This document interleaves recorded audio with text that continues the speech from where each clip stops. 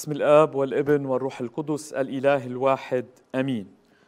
من إنجيل ربنا يسوع المسيح للقديس لوقا الذي بشر العالم بالحياة فلنصغي إلى بشارة الحياة والخلاص لنفوسنا.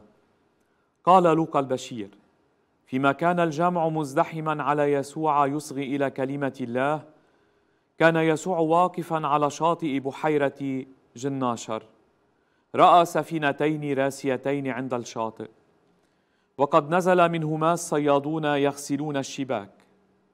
فصعد إلى إحدى السفينتين وكانت لسمعان وسأله أن يبتعد قليلا عن البر. ثم جلس يعلم الجموع من السفينة. ولما فرغ من الكلام قال لسمعان ابتعد إلى العمق وألقوا شباككم للصيد. فأجاب سمعان وقال له يا معلم قد تعبنا الليل كله ولم نصب شيئا ولكن لأجل كلمتك ألقي الشباك. ولما فعلوا ذلك ضبطوا سمكا كثيرا جدا وأخذت شباكهم تتمزق. فأشاروا إلى شركائهم في السفينة الأخرى ليأتوا ويساعدوهم.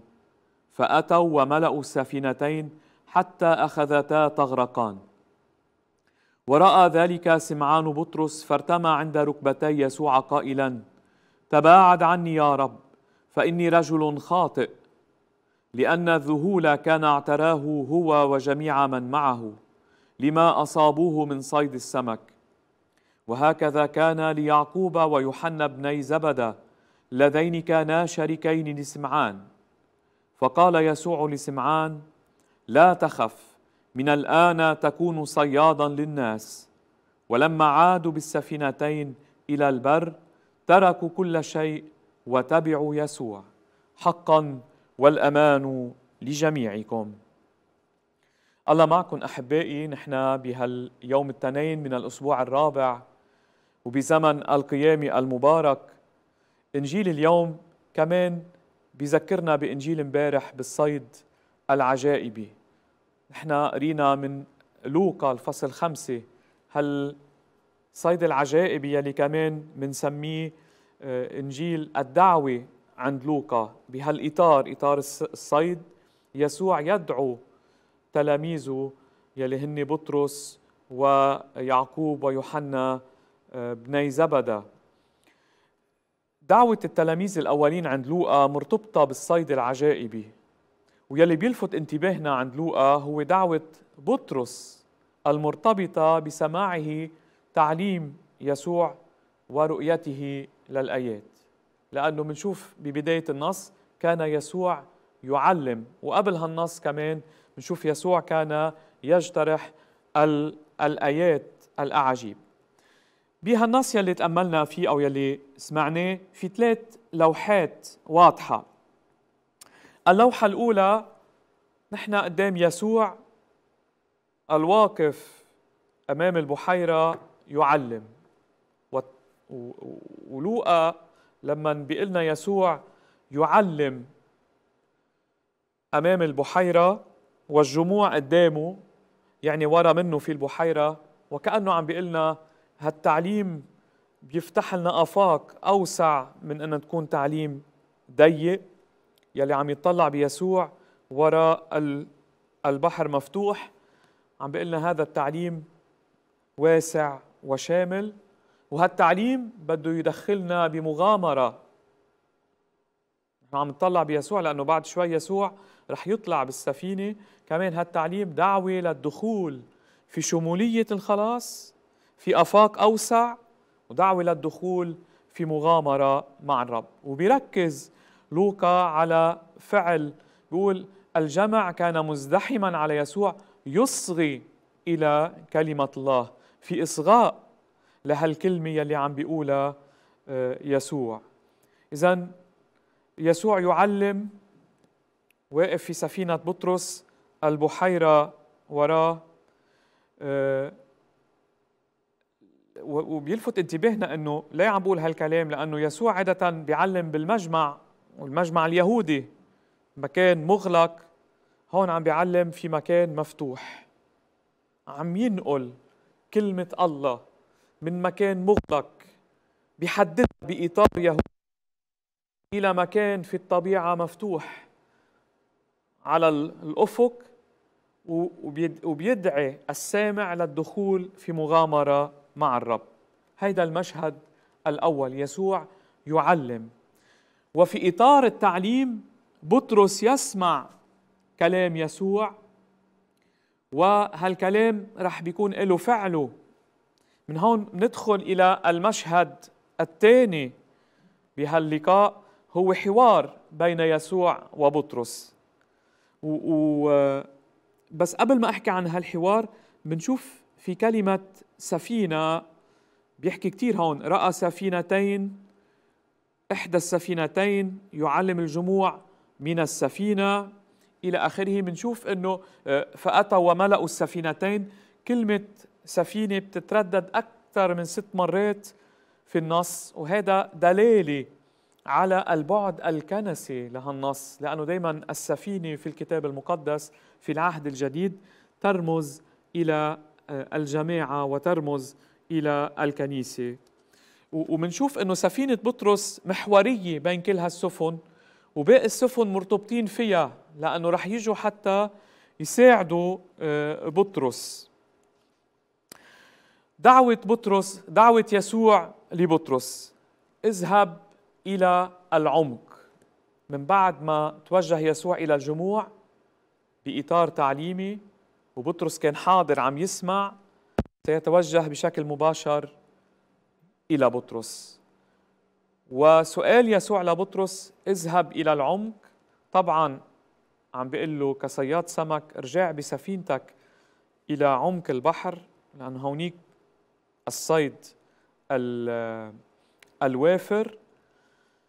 آه، هو كمان دعوة مش بس بمفهوم الصيد البسيط هو دعوة للذهاب إلى العمق. يعني ارجع إلى ذاتك. هو دعوة لنا اليوم. ارجع إلى ذاتك. ارجع إلى البحث في أعماقك في داخلك. هونيك أكيد عندك أسئلة كثيرة هونيك أكيد عندك بحث وفراغ. هونيك أكيد أنت عم تبحث عن من يحبك عم تبحث عن من يعطيك الملء. مثل ما لما بتروح تصطاد بتروح إلى عمق البحر لتلاقي صيد وفير. عليك أن تعود إلى عمق أعماقك. هونيك ستلتقي بالله. هونيك ستكتشف قوة الله وحضور الله وخير الله الموجود في حياتك. اذهب إلى العمق. دعوة يسوع لبطرس. بتذكرنا بدعوة الرب في العهد القديم لإبراهيم. اترك أرضك وأهلتك وعشيرتك وتعال المكان يلي أنا بدي دلك آه، عليه. دعوة إلى الإيمان دعوة إلى المغامرة مع الرب. دعوة دايما تخدني بعكس المنطق مثل ما تكلمنا امبارح بإنجيل الأحد. يسوع يدعو بطرس الصياد ليرجع من بعد. تعبنا بيقول له هون تعبنا الليل كله ولم نصطاد آه، شيئا. قصة آه، هالصيد يلي كل الليل هو الصيد بفترة الليل وفي تعب وشباك. فارغة يسوع يطلب شيء غير منطقي دايما. عند الصبح عند الفجر عم برد بطرس إلى عمق البحر. دعوة إلى الإيمان يلي بياخدك مرات باختبار خارج المنطق آه، البشري. دعوة إلى الإيمان يلي بيطلب منك مرات تتخلى عن أمور كثيرة بحياتك. تتخلى عن منطق معين تتخلى عن نظرة معينة للحياة حتى تكتشف منطق الله ونظرة الله وتعمل إرادة الله. يسوع لما بيحكي بنلاحظ آه، بهالنص بيحكي بصيغة الجمع. بقول آه، ابتعد إلى العمق بيقول له لبطرس وبكفي بيقول وألقوا شباككم للصيد. عم يحكي مع بطرس بصيغة المفرد ولكن بنفس الوقت بنشوف صيغة الجمع وهون هالبعد الكنسي. الدعوة ليست لبطرس فقط الدعوة لكل الكنيسة. لما الرب بيدعي حدا لاتباعه منه عم يدعي شخص هو يدعو جماعة.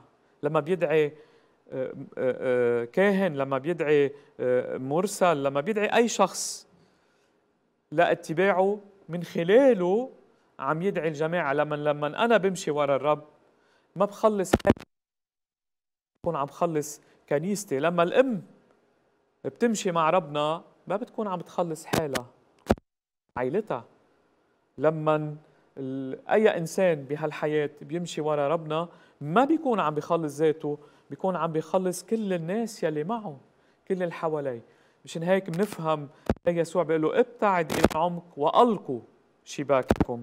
بعد بعد كنسي يسوع بطرس لما بينده يسوع بيقول له يا معلم يا معلم.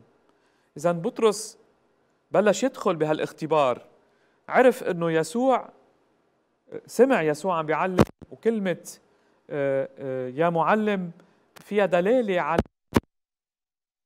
الدخول شوي وشوي بمعرفة يسوع هو المعلم الحقيقي باسرائيل بيلفت انتباهنا كمان كلمة الليل. لما بطرس بيقول له يا معلم قد تعبنا الليل كله ولم نصب شيئا. الليل هو وقت آه، الظلمه وقت القلق وقت الخوف. ذهبوا هالصيادين بعتمة الليل عاشوا فترة قلق فترة خوف عملوا مجهود بشري ولكن شباكهم كانت فارغة. هل هالواقع بيصور واقع بطرس والتلاميذ بالليل وبالصيد الفارغ يصور واقع البشرية يلي عم يدعيها الرب. هي بشرية عاشت ليل مظلم عاشت انتظار في قلق وتنتظر فجر جديد. مع الرب. اذا يسوع بدعوته لبطرس كانوا عم بيقول له سيبدأ فجر جديد بحياتك وبحياة البشرية. هل هالنص بخلينا نفهم أكثر وأكثر معنى الدعوة؟ هالدعوة تبدأ بسماع الكلمة كلمة الرب والإصغاء لهالكلمة. ثم باختبار قوتها. هالكلمة لما بسمعها بتدعيني للدخول في العمق. بختبر قوتها بختبر الصيد العجيب. ولما برجع إلى البر مدعو إني أحملها للآخرين. منصلي اليوم بهالزمن زمن القيامة بيوم التنين من الأسبوع الرابع أن نكون على مثال بطرس. آه، نسمع كلمة الرب ونعمل بها ونختبر قوتها لنحملها للآخرين. آمين. المسيح قام حقا قام.